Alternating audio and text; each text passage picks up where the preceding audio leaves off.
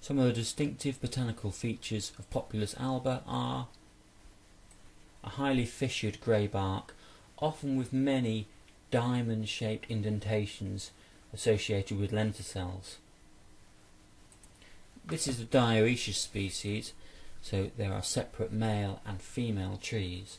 The male flowers rather pale, short catkins, slightly light green coloration to them. The female catkins being a curved raceme of small yellowy green capsules with a few stigma emerging from each. These then develop between four to six weeks to slightly larger green capsules which burst open to release thistle down seed.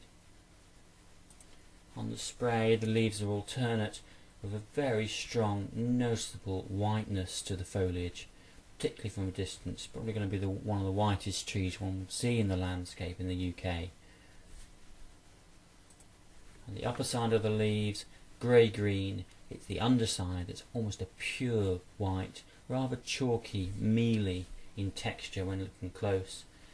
Typically the leaf is five-lobed, the largest, broadest being at the apex, triangular in shape, rather maple-like.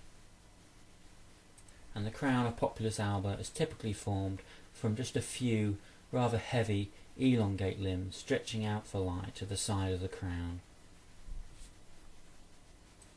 The winter buds alternate on a brown twig which is often covered in a very strong white bloom or white pubescence through the winter period.